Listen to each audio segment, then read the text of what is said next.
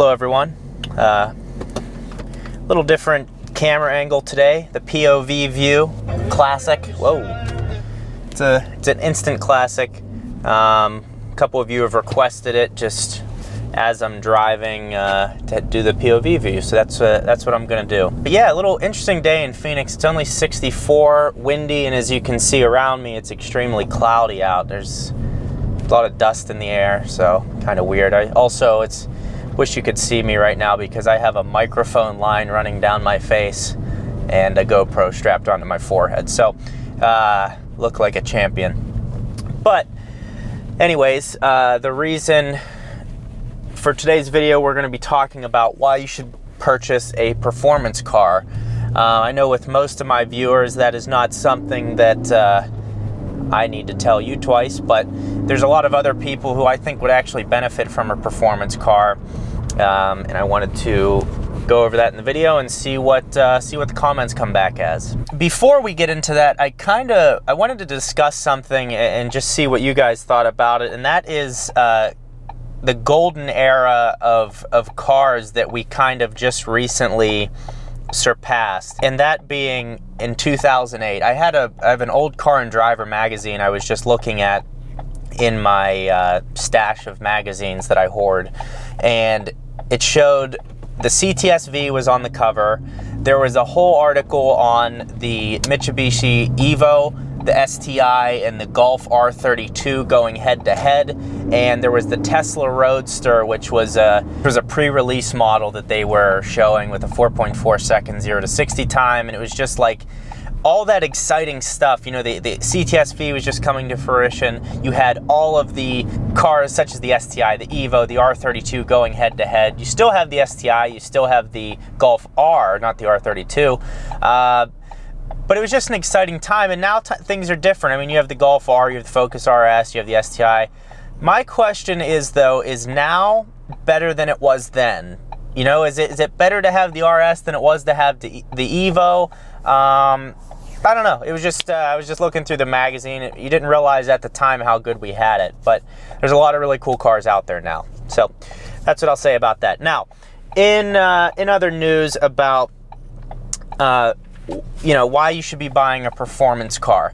Uh, here's why I think even if you're a person who doesn't care much about cars, having a performance car is just, it makes driving more exciting. Let's start with the outside of the car. The outside of a performance car is generally going to have a sportier look to it. It's going to be more more pleasing to look at. People, it might turn some heads. Um, it's going to hold its value better because it's just not a regular car.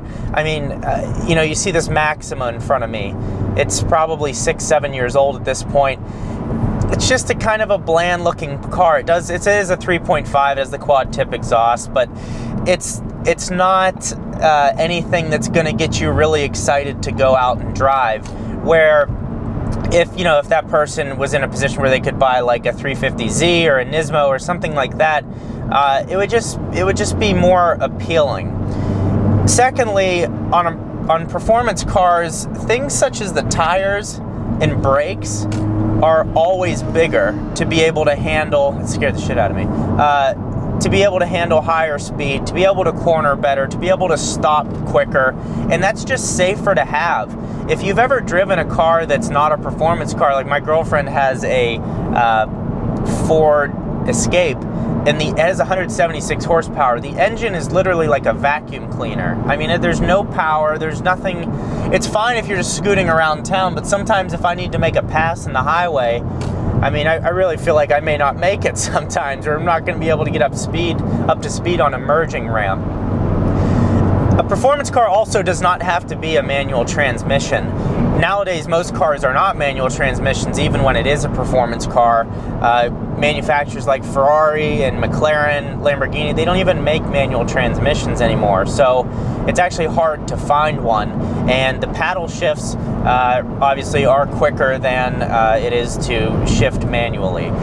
But there's just some really good things that performance cars have, such as safety features as bigger brakes, bigger tires, which, yes, they can be more expensive to repair, but down the road, the residual value of the car is going to hold much better than just your average car out there. So th- that's my argument as to why you should be driving, uh, or why anyone should be looking. Hey, look at a performance car, whether it's used, new, uh, or whatever. I, I think it's something that's worth looking at, even if you're not uh, someone that's that's an enthusiast.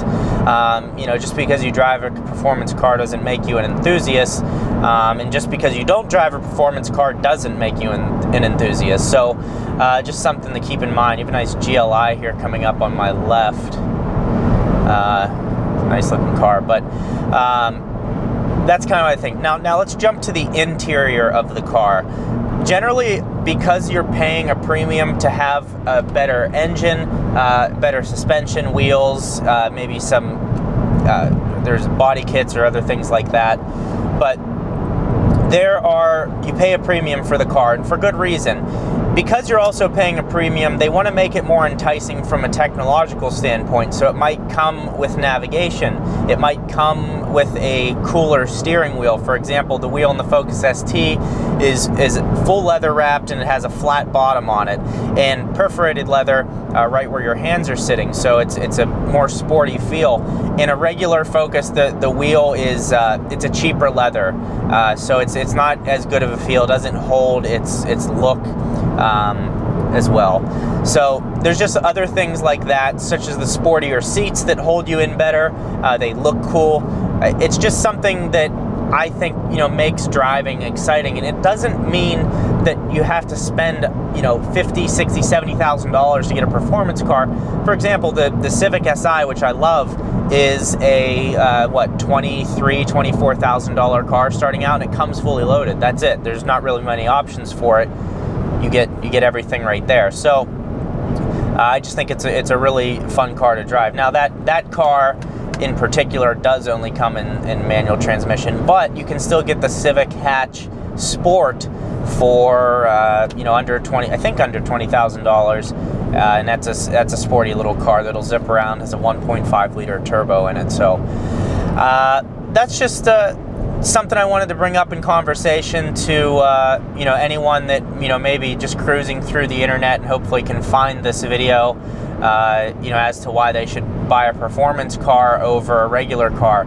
It will also help, you know, if you can grow the performance market, it helps for those special edition cars to be coming out, and, and it gives the company a reason to want to invest in cars like that. So that's uh, interested to see what your guys, what your thoughts are on that. Um, President's Day, so the traffic is pretty light. But it's kind of funny how driving patterns in the uh, United States, see how if you look in front of me here, they have the left lane is jammed with cars. So I'm doing 73. The left lane is jammed with cars doing 75 maybe. But there should not be traffic ever in the left lane. There should be traffic in the center lane or maybe the right lane here. This is a four lane, well, five lane with the HOV. But it's just funny how people they refuse to let people get over behind them because their egos are too big to just get over. Whereas uh, in Europe, you know, if you're flying in the left lane, you see all the cars just get out of the way. They're always checking their mirrors, always aware of their surroundings. Uh, and here, unfortunately, it's just not like that. So, kind of kind of stinks, but uh, that's how it is in America. It's also a really rough road. Um, not sure if it's picking up interested to see where you all are viewing from. Leave in the comments below where you're viewing this from. What's if you're in the United States, what state are you viewing from? And if you're outside of the United States, what country are you viewing from? How is what is it like to drive in your country? Do you have big interstates where uh, people get over for you, for you? Do they follow the local rules, um, or do they not? Unfortunately, in Phoenix, Arizona, it's awful. People just a lot of road rage, a lot of un- unnecessary accidents just because uh, they're not paying attention, texting and driving, just stupidity. So that's my uh, rant for the day. Uh, Mustang V6 in front of us. Got a Honda Accord coming up on my left. Honda Accord's a beautiful car. Like that's not even the newest model, and it's still really good looking.